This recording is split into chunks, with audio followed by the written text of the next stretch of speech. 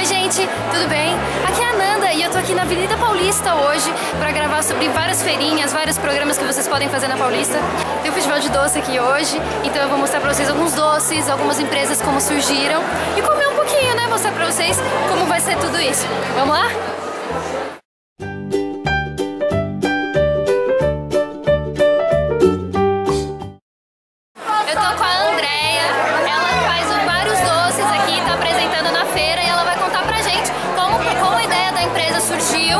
Como esses doces são feitos.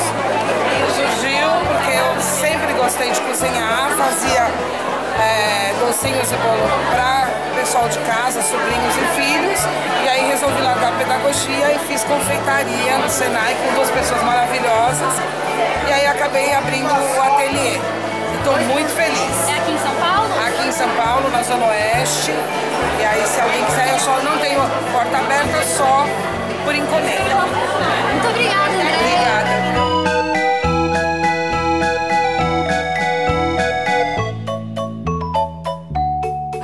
Tô aqui com a Caroline, ela faz geleia, ela e a mãe dela fazem vários tipos de geleia e ela vai contar pra gente a história da empresa dela e como eles tiveram essa ideia.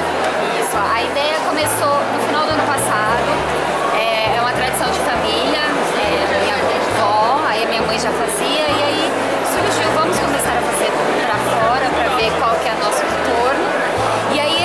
as nossas alquimias, é, as nossas invenções, pega- pegamos vários sabores atípicos, como por exemplo de cebola roxa, de pimentão vermelho, de tomate com manjericão, e aí fomos testando,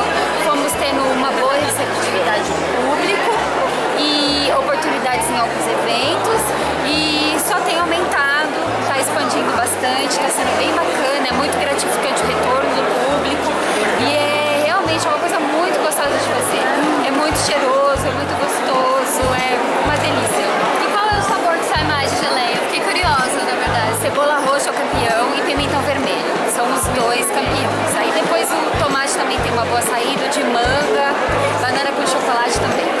Obrigada.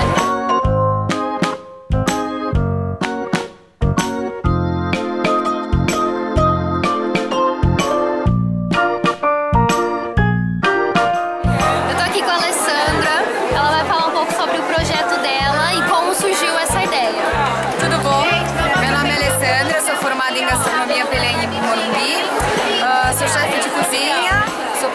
em confeitaria e eu faço doces, faço brigadeiros, cupcakes e hoje eu tô divulgando pão de mel na marmitinha, que é esse daqui.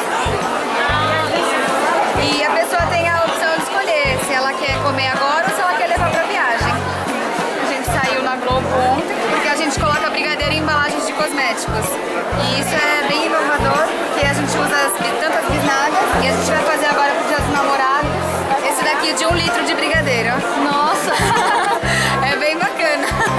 Nossa, muito legal, gostei. É muito legal.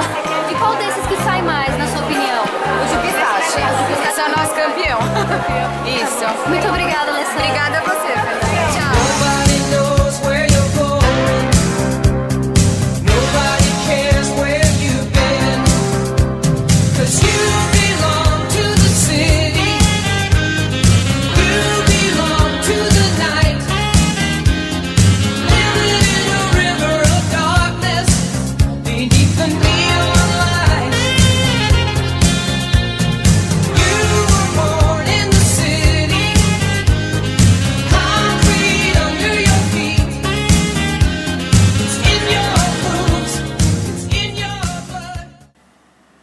Oi, gente!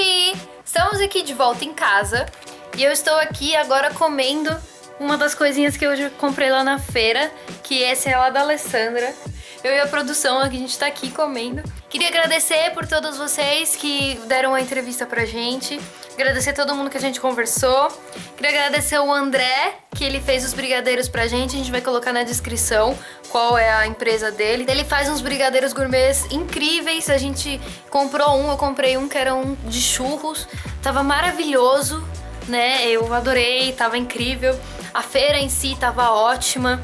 Quero agradecer a todo mundo novamente, porque vocês estavam cheios de coisa pra fazer e eu pedi cinco minutos e vocês ainda assim deram cinco minutos pra gente. Então, muito obrigada por vocês cederem esse tempo pra gente.